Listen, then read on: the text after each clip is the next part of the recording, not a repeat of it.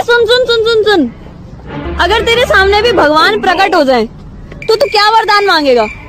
मैं बोलूँगा हे प्रभु! दुनिया मांगे सोना चांदी हम मांगी मेहरारू।